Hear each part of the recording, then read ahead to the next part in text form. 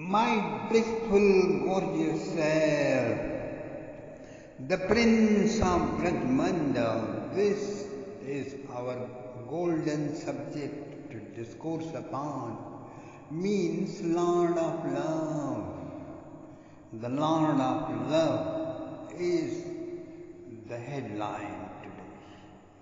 Himalayas have 25,000 mighty peaks, many covered with a dazzling snow, others pervaded with thick dark green forests shining like emeralds.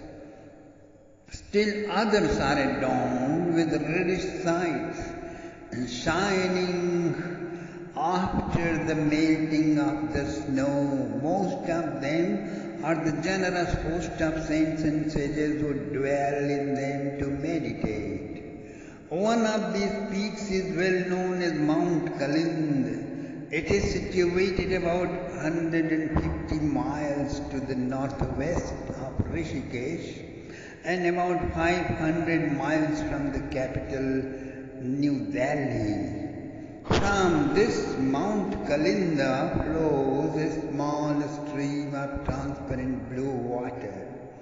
This stream becomes historical, sacred, big, wide, long river Kalindi Yamuna, also known as Yamuna. It flows down, taking a southeasterly turn uniting in the holy river Ganga after 860 miles of murmuring and meandering serpentine flow at the holy city of Prayagraj. Right in the middle, halfway from the origin to the union, there stands one of the seven highly vibrated cities on the earth well known since the very dawn of civilization on the earth. This city is known as Mathurapuri, still a very beautiful holy place shining at the bank of Yamuna river, reminding all the visitors of ancient glory, fame and prosperity. It is still a heart captivating tract of sacred land expanded in 168 miles of territory. It has 12 great forests, each of which contains two subforests. and, uh, and, and the, the time we are, uh, we are, we are talking about is 3500 years before King Vikramaditya. All um, Christians may think that it is 3500 years before Christ. The great Yadava king Devmeed was governing the Mathura state kingdom. He was born in the lunar dynasty. He was successful as a to this to his citizens, as a husband, a great husband to his wife, as a great father to his sons and daughters, as an honest seeker to the absolute truth. He married with Chatrani and Gopani, two wives. The first one gave birth to a well-known son, Shursen, who gave birth to Sri Vasudevji Maharaj, whom Bhagavan Krishna himself chose to be son of. From the next wife, Gopani, a mighty and very handsome son was born, whose voice was like a rumbling of rain clouds. Therefore, his name became Sri Parjanyaji Maharaj. When he became young, he married with a Gopa girl named Variyasi. After great jubilation of marriage ceremony, King Devamida offered his beloved son Parjanya a special gift. He made him king of the entire forest area of the state, along with the entire wealth of holy cows. Since then, the forests and, and, and holy cow property became independent from the Mathura kingdom. Their cooperation solely depended upon the goodwill of both parties. The king placed a gorgeous embroidered white turban on the head of his tall, magnanimous son and made him the owner of 900,000 most beautiful golden ornamented and silk bedecked holy cows along with all the forest area for them to graze and live in. He embraced and blessed him. Soon Parjanyaji Maharaj picked up his responsibility and discovered if he wants to manage the holy cows and and, and forest efficiently, then Mathura is not the best place for him to live. But another place known as Mahavan, across the mighty waves of Yamuna. Soon he moved up there. All his friends and kinsmen and those who loved to be with him and who shared the same goals and means of occupation joined him with all their wealth and holy cows and family members, they settled in Mahavan. A most beautiful and magnificent city was formed. It resembled a concentrated auspicious mark upon the forehead of the planet Earth. Its name became Gokul, Gokul, Gokul. Around about that time, the great Maharishi Shandilya, inspired by his reverend father, came from Brahmalok, and, and while he was still up in the sky, he glanced at this new city and was highly surprised. No, no, it cannot be part of the earth. It is far greater than even celestial plane of existence. Spatially, this forest locality, it is none other than a piece of transcendental plane. That's it. Grass, trees, creepers, birds, animals, peacocks, all were transcendental. Gopis and the gopas and the holy cows and the river banks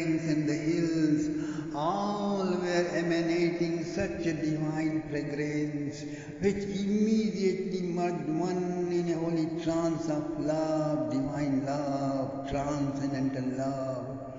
Each stroke of perfume invited to wait and stay be still and get intoxicated in love with some unknown, invisible, oncoming, cosmic beloved.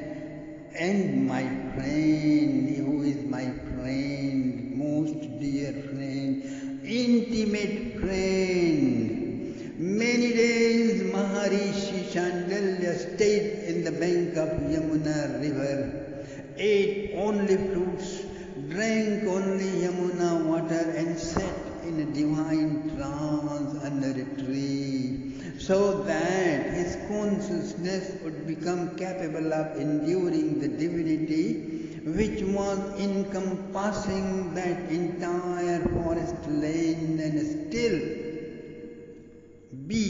be of interactions.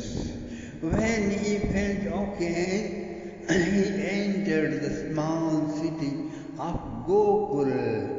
There he saw how wonderful the translucent gopas look like, so full of homage, so full of bravery, sympathetic and generous. It was as if love and capacity of strong organization dwelled in their very blood vessels.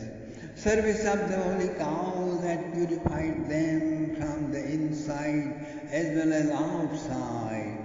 The labor of this service had given them a gift of strong muscular bodies as well, weatherproof, healthy, and of course adopted to a simple way of life.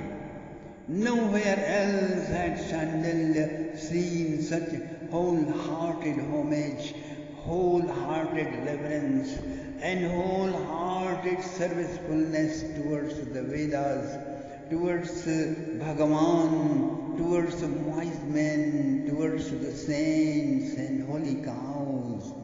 And the beauty of nature was certainly incomparable even to the heavens. Looking at the holy sage, the Gopas rushed, leaving their works aside, led by King Parjanya, all fell prostrate at his feet and, and took him in the palace. A beautiful decorated seat was offered, and sitting there, all Gopas and King Parjanya worshipped with such heartfelt emotions that Sage Shandilya wondered whether he himself ever did worship even to God with such great reverence.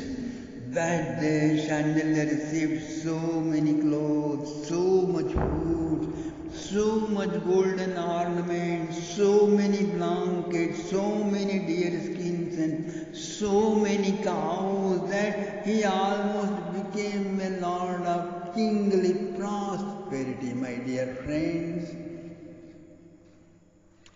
In the serene, placid bank of Yamuna river, soon a beautiful cottage was built.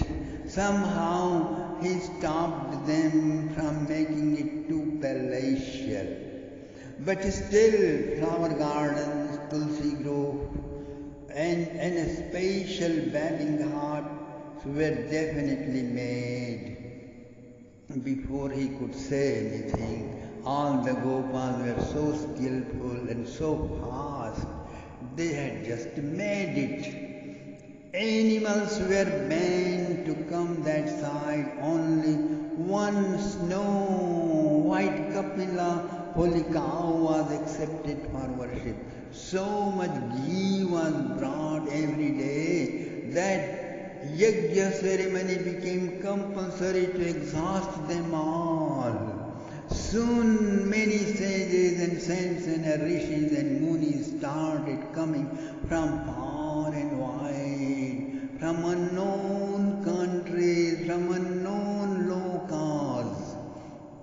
Gopas under the leadership of Parjanya built hundreds of artistic cottages for them and were always found to be at their service. They would be very humble, speaking very few words, Uh, but knew like omniscient being what was needed in the ashram, what the rishi, mm, the Guru Maharaj is thinking and needing, and, and, and is about to tell them to bring. They knew it and brought them before he would tell them and what service needed to be done and how all that flashed in their mind before it was spoken. All from eldest to child knew it in absolute smartness. Soon Variyasi gave birth to five sons and two daughters. In the palanquin came Maharishi Shandilya with many, many sages under the canopy of many colored beautiful silks, among echoes of Vedic chants and jubilant songs and dance, in front of thousands of ecstatic gopas. He gave them names. This is Upananda, he said, him Abhinanda. Oh, him, he is Nandaji Maharaj, the great, wide-hearted Nandaji, and Sri Sri Nandanai Maharaj. The rishis shouted on top of his voice and, and he welcomed the little baby. And his brother is Sananda and the youngest is Nandan. Their sister names will be Nandini and Sunanda. Due to his high-minded Abhinanda, uh, was also known as Mahananda. Soon among the joint celebrations, five brothers and both sisters started growing up. In happiness time moved fast. They became young. Upananda was married to Tungi, Abhinanda married Pivri, Sananda married with Kubla, and, and Nandan married with Atula. The Gopa chief Sumukh gave his most dear daughter Yashoda in marriage to Nanda Maharaj. Nanda Mahamana Maharaj. Another long sister, uh, another long series of festivity went on for months and months. Nanda Yashoda were married. Nanda Yashoda were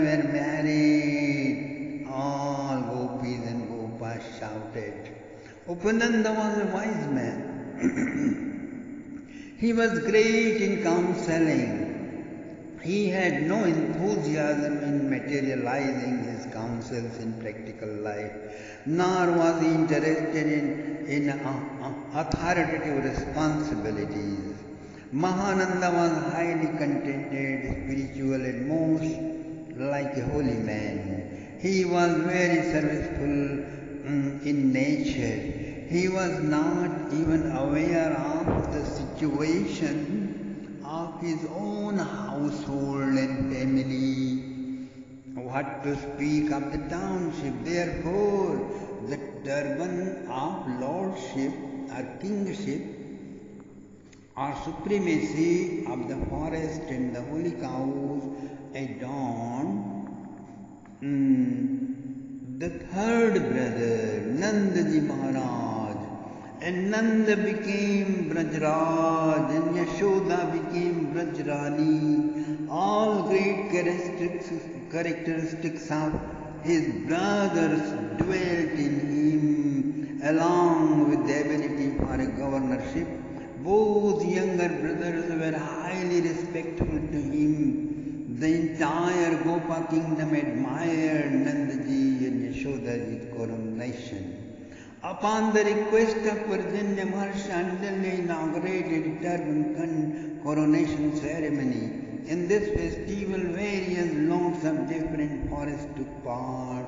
The lord of Vyatsanu, now known as Varsana, and Sri Mahibhanu himself arrived along with his younger son Sri Vrishabhanuji, accompanied by other ministers and councillors and family members.